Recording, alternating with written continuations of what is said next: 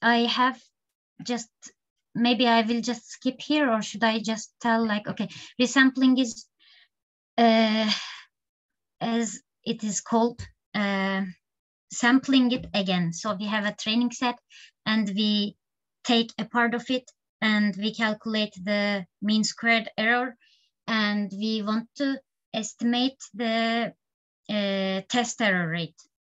So um, what happens? One thing, uh, it's, I mean, one disadvantage, maybe we would tell that uh, it's not using the entire original training sample. So uh, this might cause some um, mis not miscalculations, not miscalculations, but uh, not estimating correctly for the um, test error. Uh, what else? Resampling is computationally expensive. Why? Because we are sampling more than one time and we need to calculate everything again and again. And it is the um, computationally expensive part. And model assessment uh, is the evaluating a model's performance and model selection is the selecting uh, level of flexibility. And I will continue. So cross-validation uh, what do we do? We have a training data and uh, we want to estimate the test error rate. And yeah, I suppose I don't have anything to say for here, but let's continue with the validation set approach. So here, um, we want to estimate the test error rate. So we separate uh, our observations into two parts as training and the validation set. It, validation set is also called, out, called as uh, holdout set. And um, normally when we are um, calculate when we are calculating the test error rate directly, we need the whole training set. Uh, but for the, I mean, for cross validation and for the validation part, we separate them and we uh, use the training set, training of the, I mean, training set of the training set. And uh, we, by, we uh, fit our model to our like subset of training set and we um, try to predict the observations in validation set. So this way we try to estimate the test error rate. And here is the um, like diagram for that. What happens, we shuffle it and we uh, cut it into two parts, like from the middle. And we take one part as training and the other part as validation. And we try to estimate the um, test error rate. Then, um, so we will check this figure but my notes are here. I mean, it's not my notes, it's just uh, what written, what's written in the book. Then it says that uh, the quadratic term, I mean, the mean squared error uh, is dramatically smaller uh, for quadratic polynomial equation than the linear equation. So this shows that linear equation is not adequate to fit the data.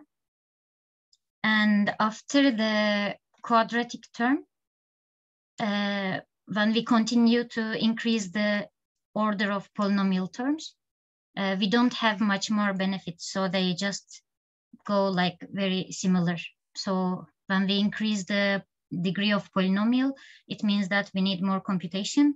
And um, what happens even though we use more power for the computation, we do not get better uh, results. So that, that means that uh, a second degree, a quadratic polynomial would be enough, I suppose. Then it says that uh, different test mean squared error estimates. So uh, when we use different degrees of polynomials for each of like each trial we have different uh, mean squared errors uh, for, I mean, so here they we see 10 of the, I suppose it's 10, 10 of the, um, 10 of the leave, leave one up. Did we start leave one? No, sorry, sorry, sorry, sorry. Uh-huh, okay. We do it 10 times, so we shuffle and do it again, shuffle and do it again. So each time the uh, content of training and validation sets change. And what happens, we obtain different mean, mean squared errors. And uh, this shows us that uh, this does not, I mean, when we do it just once, we cannot be sure that it is really close to the real one. So we see that um, when we just um, divide the training set into training set and uh, validation set, we cannot be sure that it is really the correct one. So this might require like do it again and again and again and uh, just take the um, mean and it might be something else that we will see in the um, further ones. Uh, what else I can say? So we can say that we cannot see here a consensus for uh, different um, valid cross-validation, yeah, validation set approach for different validation set approach trials.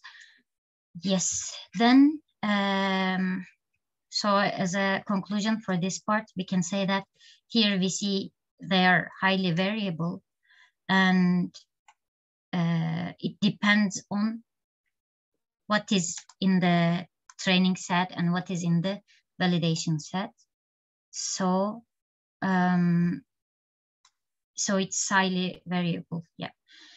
And um, we can say that since we divided into two parts, we only use a subset of observations, like subset of the training set to fit the model. And since when we use fewer observations, we can not get good enough uh, performance. And uh, generally, validation set error rate may tend to overestimate the test error rate because we don't use the entire data set. So when we do our training, it's not have enough um, like data. And since we use half of the training set as validation set, generally uh, the error rate is bigger than the real test error rate then leave one out. Uh, we just do it by uh, excluding one of them. And we do it uh, n times. If we say that we have n observations, we repeat this part n times. And what we do is that, let's assume that we excluded this. So the blue part is training set and the pinkish one is uh, validation. So by using whole this part, we try to um, predict this one by using the others. And this is actually kind of good. However, it requires, since we do it like n times, if we, if we have a thousand of observations, then we will repeat this process like a thousand times. So it's too much.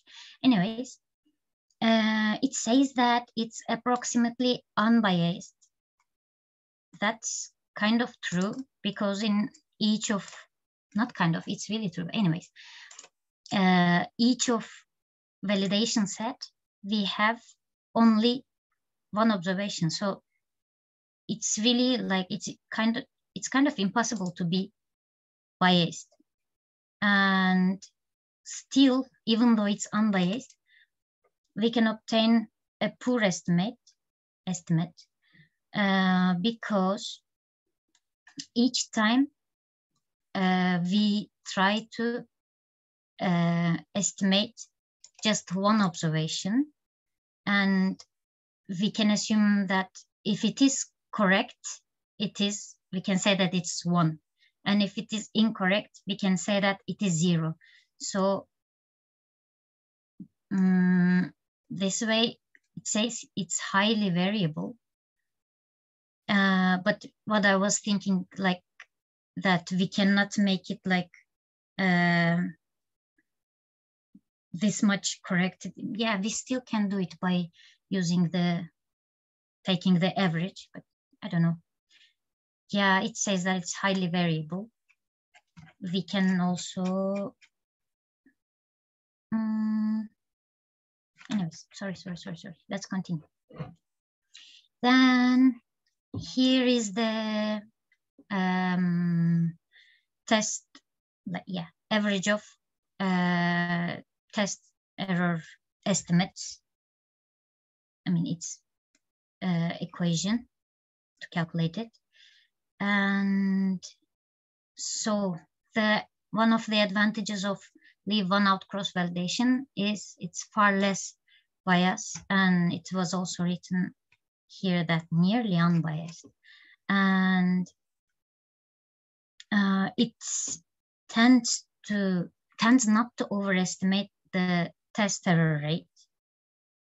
Why? Because I suppose it's because it has less bias. Uh, okay. Then let's continue. And here we have another picture here, some plots. And yeah, this actually looks like really similar to the other one. So uh, linear a linear model is not adequate and the a second de degree equation is giving way better mean squared error and uh, the remained parts, I mean the remained degrees of polynomials, they do not give us so much benefits. And here, uh, unlike the previous plot uh, for validation set approach, we do not have that much variance. So they are always close to each other.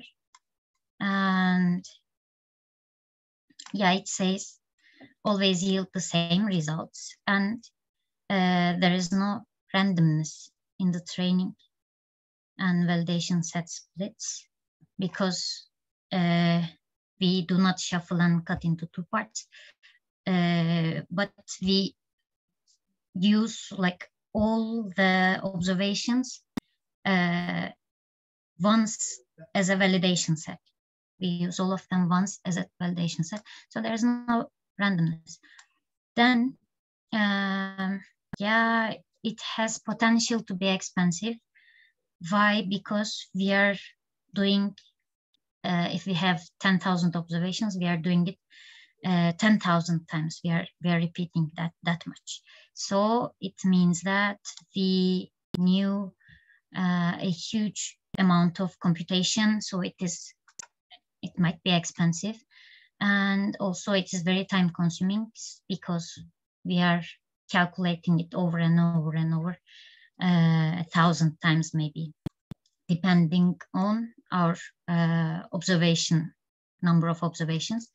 And here we have another equation. Um, so this is also, um, this is cross validation. Is it error rate? I'm not sure, but uh, I'll just move on. Sorry for that. Let's continue. Then here we see a five-fold cross validation. It is like the mixture of uh, validation set approach and leave one out cross validation. So what happens instead of um, taking one observation each time, we are uh, shuffling our uh, observations and then we are separating um, separating them. Like we de we decide for how many pieces we will separate it and we repeat the calculation for that much. So let's say it's k-fold and as it is said it is k-fold. So we divide it into k parts and we take the first k group as validation and the remaining part as um, training set and we repeat it k times then so here is the equation for mean squared errors for k-fold cross-validation estimates. And yeah, most obvious advantages computational. Why? Because for leave one out cross-validation, we were doing the computation n times, but now we are doing the computation k times, which is smaller than n. Then here we see the um, true and estimated test mean squared errors. And so when the, okay, let's do it. Uh, we have black dashed line here.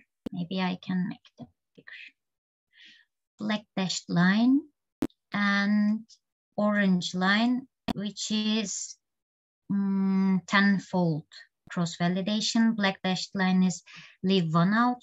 And the blue one is,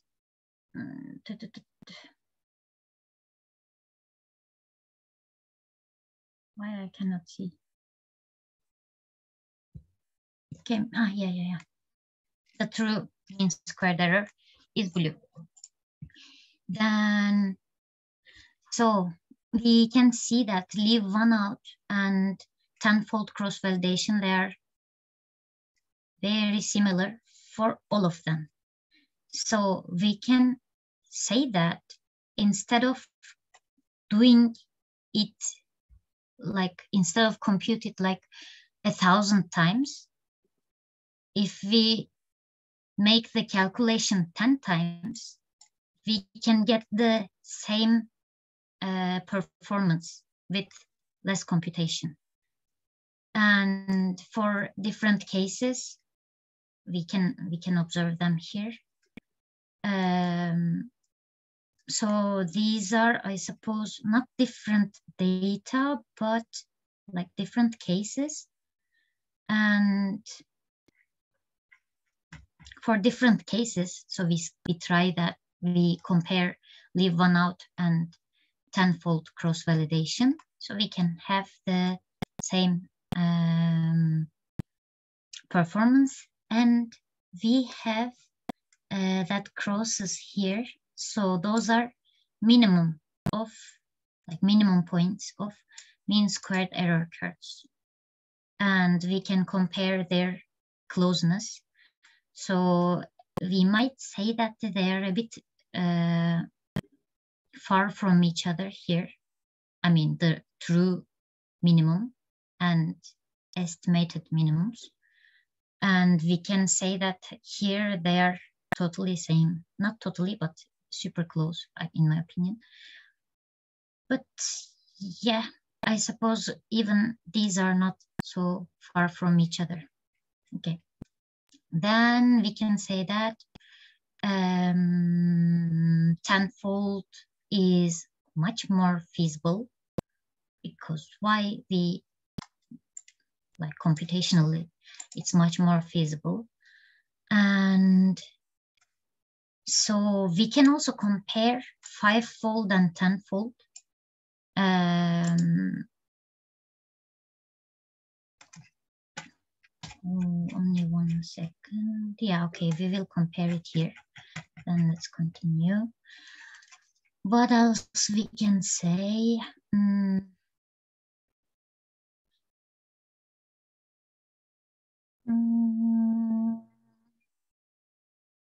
Hmm. So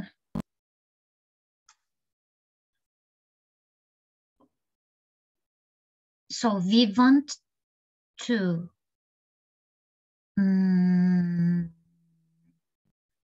okay, when we have the cross, I mean, when we perform the cross validation, we want to estimate the actual test mean squared error.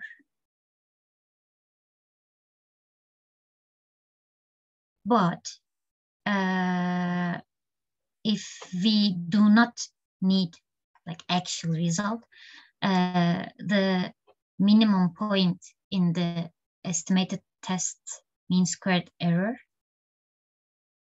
is enough, I suppose.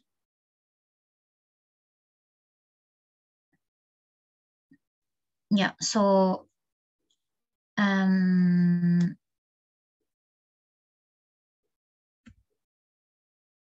yeah. Okay, so uh, if we want to know how well the procedure is, like how is its, how close it is to the reality, the actual estimate of the test mean squared error is important. But the other times, only the location of the minimum point is enough. So um,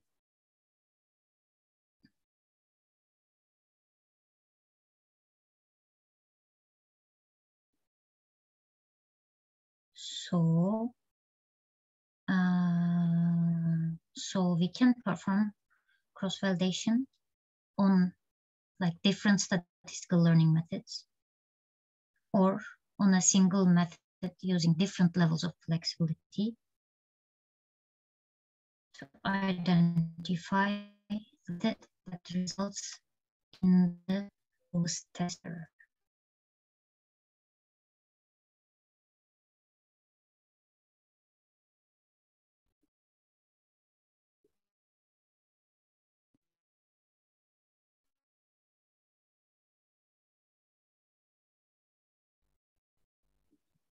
So, um,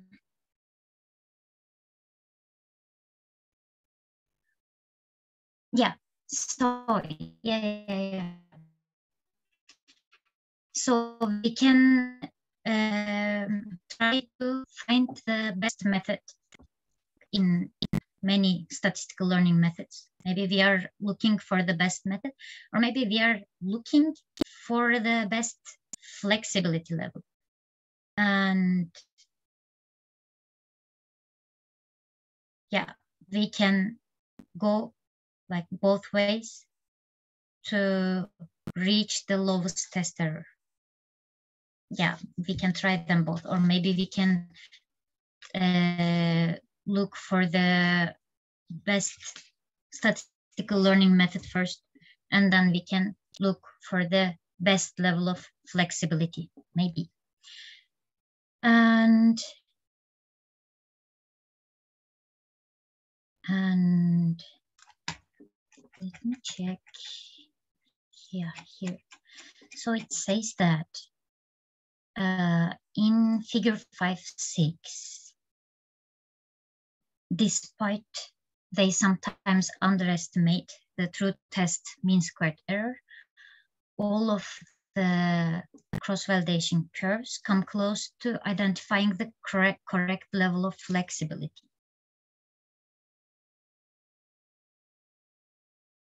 And that is the smallest test mean squared error. So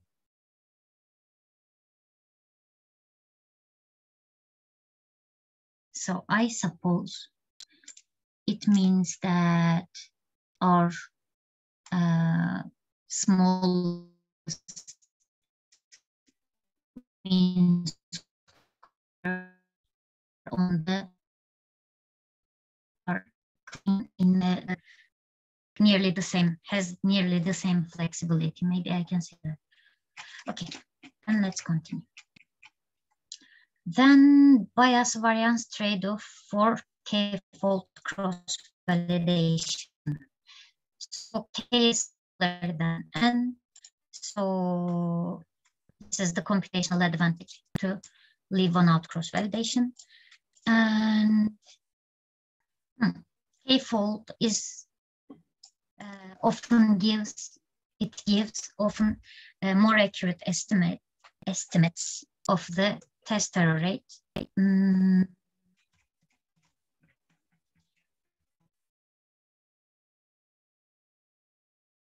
Hmm.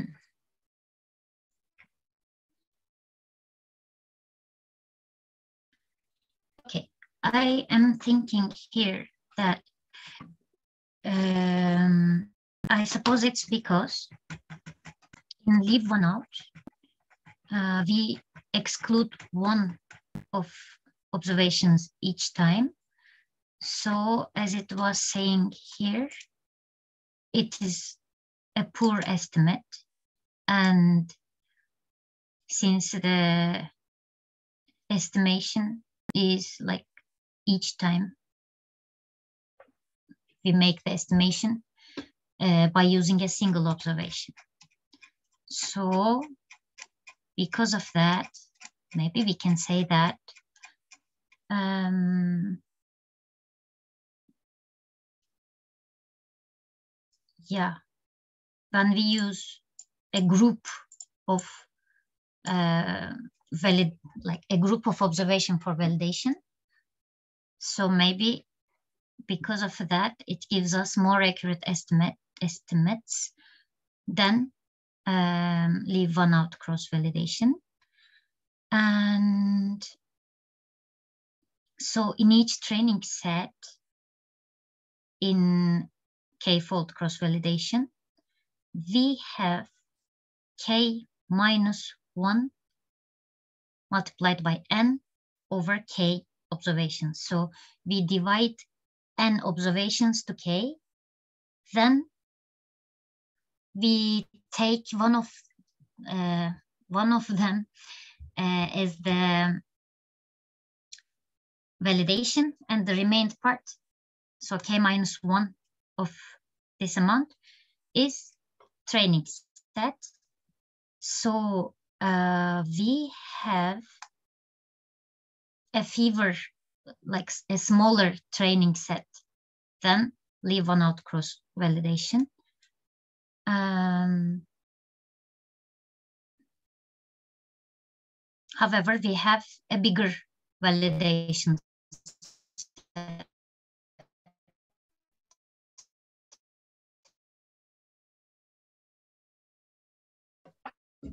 Okay, it was a good idea to turn off my video. Okay, okay. And I suppose my connection is still bad, but I suppose it's better than before.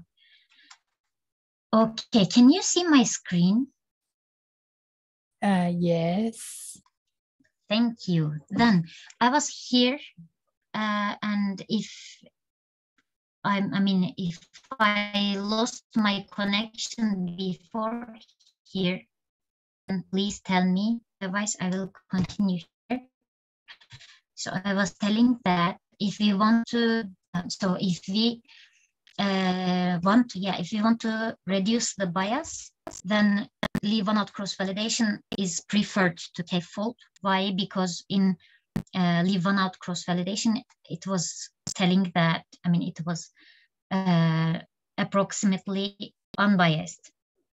So uh, yeah, we can say that um, for the bias reduction, uh, out cross validation is, is uh, preferred to k-fold, yeah. And then it says that leave out cross validation has higher variance than k-fold cross validation has why? Because for um, for each of uh, each small validation set, uh, actually we I cannot say that we have uh, different uh, results because we don't have the different results, but maybe uh, for k-fold cross-validation, since we have a little bit bigger validation set than leave one out cross-validation, maybe that is the, that's why maybe uh, we have less variance for k-fold cross-validation. Mm, yeah. Then on classification problems, um, so, hmm,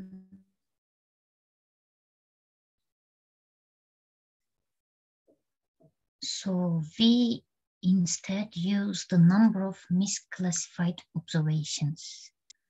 Uh,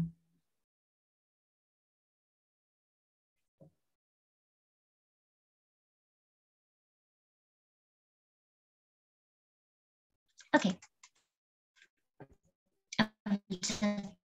That's that part. I'm sorry. So this is then again for cross validation and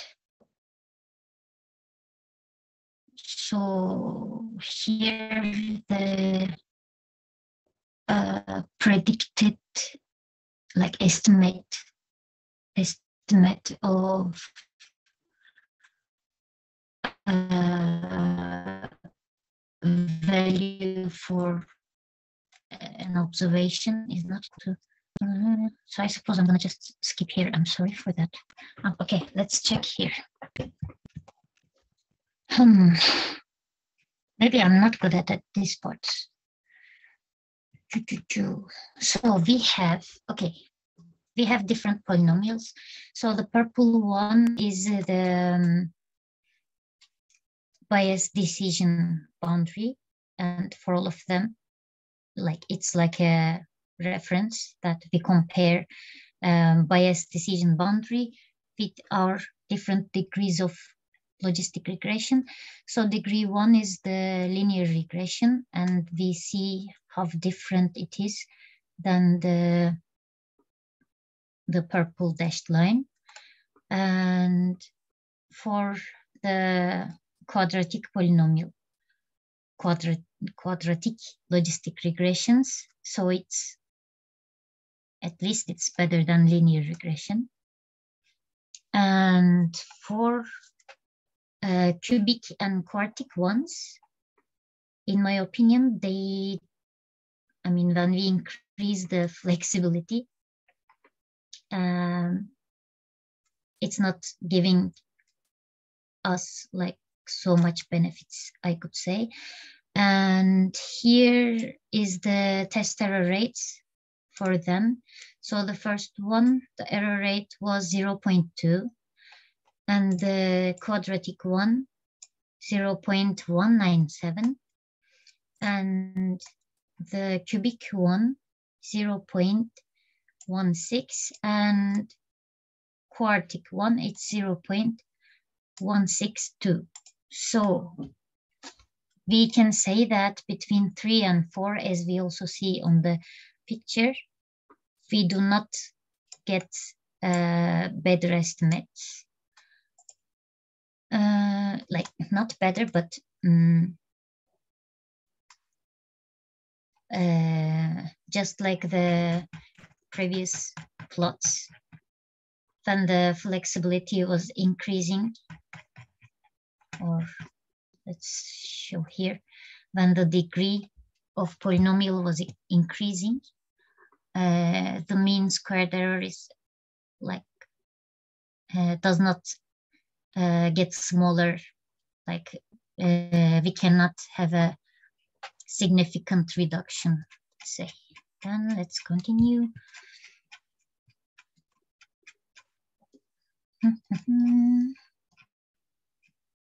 and let's see. So here we can see the error rates and order of polynomials used. And the brown line is the test error. And the blue line is the training error. and black one is tenfold um, cross validation. So, uh, like we saw uh, on previous chapters, the training error tends to decrease when we train more. We have, I mean, it gets, I mean, it, it learns better and it tends to reduce. But in the in test error, um, when we, uh, I mean, until some polynomials, uh, it decreases, but then test error starts to increase. And we can see that for tenfold cross-validation, we can see that uh, it is more similar to the test error. And mm -hmm. so this is here. This is left logistic regression using polynomial functions of the predictors and KNN classifier with different values of K, the number of neighbors used in the KNN classifier.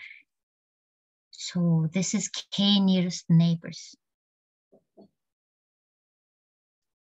Yeah.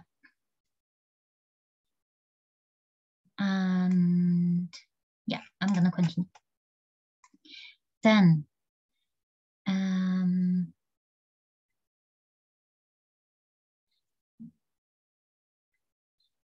So cross-validation error curve slightly underestimates test error rate, even though that it takes on a minimum very close to the takes on a minimum very close to the best value for K.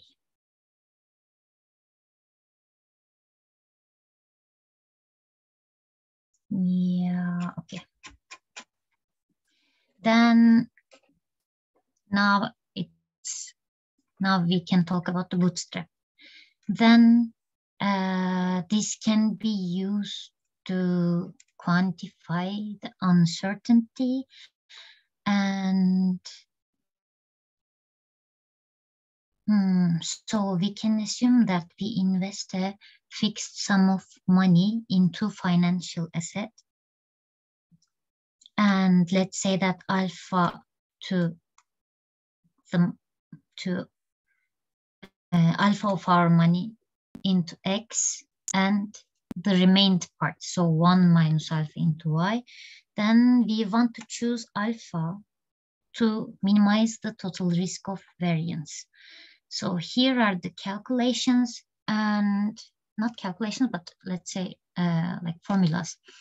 And this is like um so the yeah there are some equations but it's not let's just forget that i just got confused for a moment.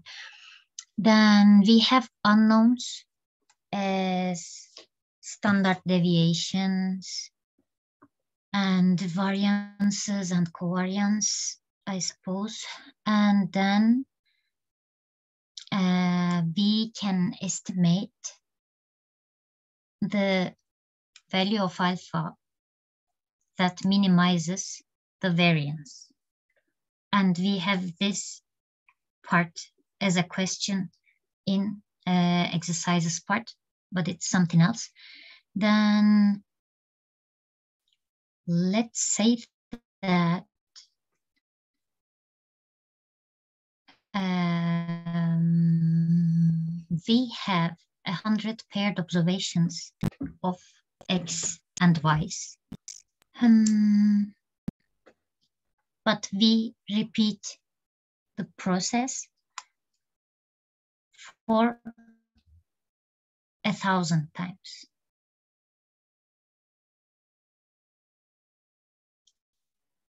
And we will obtain, I hope I am with you still because my connection is unstable. So uh, then we will obtain a thousand estimate estimates for alpha. And here what we see, so a hundred simulated returns for investments X and Y. Um, so resulting estimates for alpha from left to right and top to bottom. So this one is 0.576. Here is 0.523. And here is 0.657. And here is 0.651.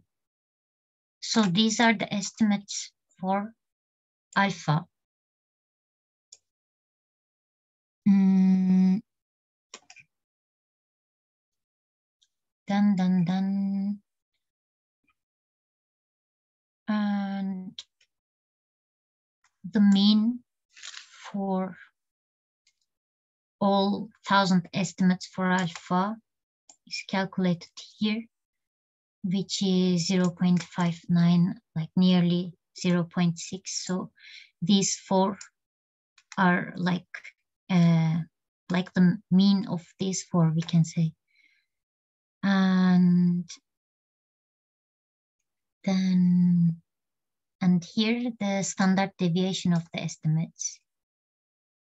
And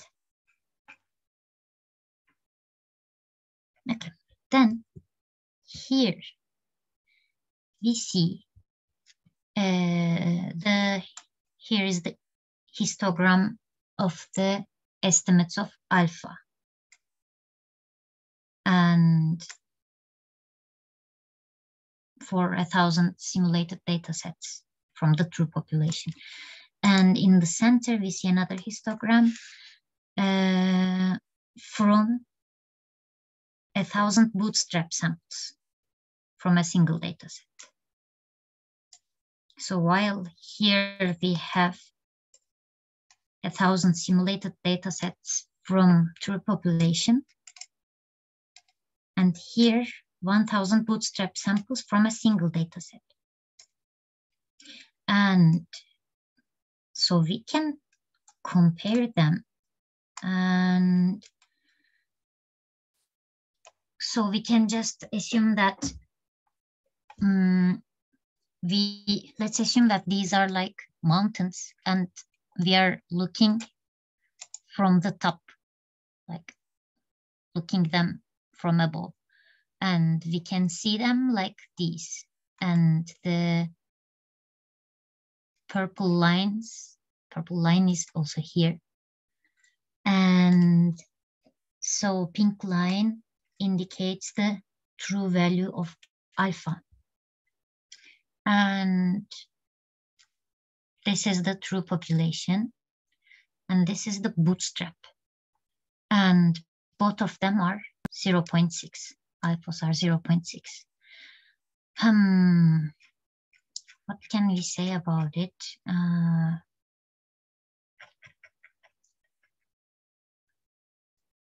dun, dun, dun,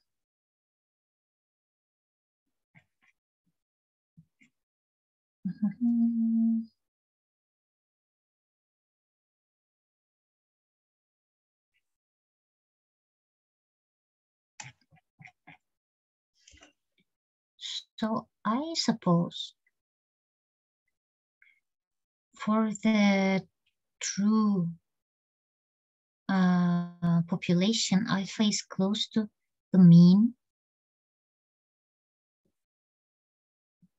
But for the bootstrap, alpha is higher than the mean, maybe. Not mean, median? I'm not sure right now. I'm getting confused. Then here we have the standard error for estimated alpha.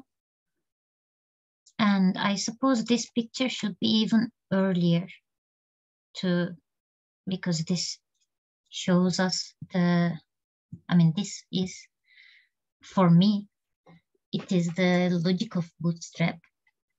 So we can assume that we have three observations and we have X and Y values for them.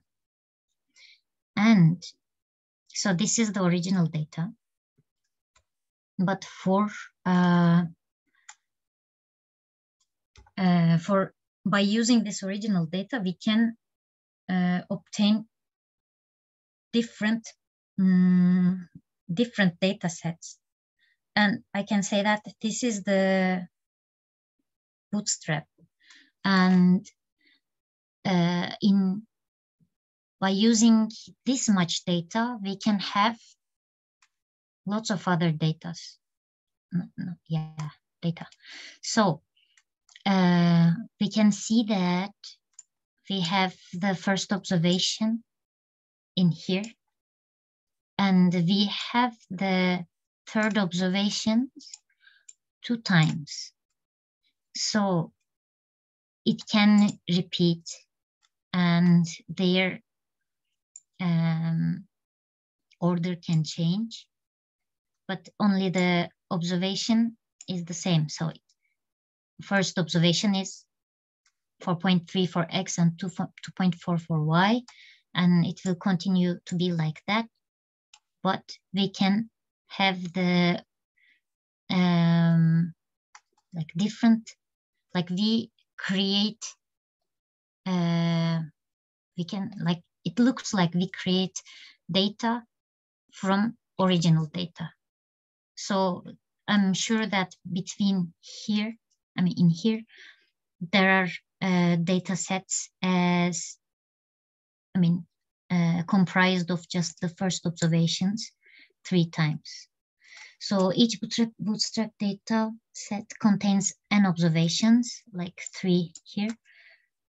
Uh, so they are sampled from the original data set. And each bootstrap data set is used to obtain an estimate of alpha. So this way we can uh, try to estimate estimate uh, alpha like for the same data set, but not the same data set for different of them, like different data sets of alpha.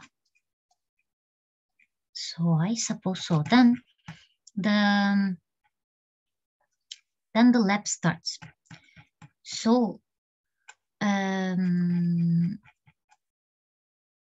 do you have questions? Because I am not confident that I am explaining things well, because I can also get uh, confused and yeah. Do you have questions that we can discuss about those?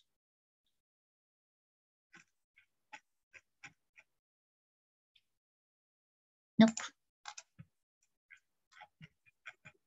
Then maybe we can look for labs for a while. By the way, I'm not, I mean, we don't have that much time, only seven minutes, but maybe we can just start a little bit. So this is my RStudio session.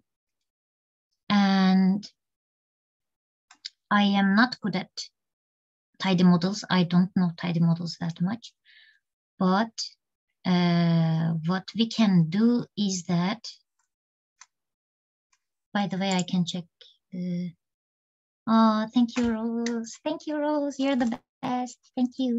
Anyways, then, um, yeah, here we can sample, let's say from 1 to 392 we can sample half of it randomly. And we can say that this is our training, uh, train data set, let's say. So by using the set seed, uh, even someone else would uh, work this code. It will give the same training set because the seed is set now. Then this is the validation set approach. Why? Because it shuffles the data. It shuffles the numbers from 1 to 392 and it takes half of it. And this is our training set and the remaining part would be validation set. Then uh, in the base R, linear model fit, I suppose this is. Um, so it might change in tidy models, which I do not know many things about it. Uh, but maybe since we can, I cannot uh, have all of them in this session, I don't think that I can finish it in this session. Uh, maybe. Well, the next presenter, you can take some, you can do this next week and then I'll continue after yours. Okay, I suppose that's better because we have only five minutes. I was thinking that maybe I can go a little bit, uh, but yeah, a little bit will not be anything, I suppose.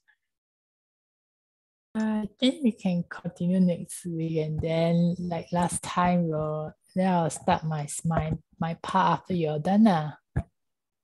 Oh, okay. So uh, I will try my best to make it quick in the uh, in the next week. So I don't. I mean, I will try take as less as possible from your time. Okay. So then thank you. I suppose we will continue next week.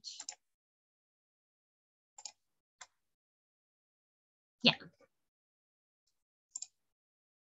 Uh, yeah, I will stop sharing my screen. Yeah. Thank you very much for listening me. Yay. okay. So see you next week. Bye.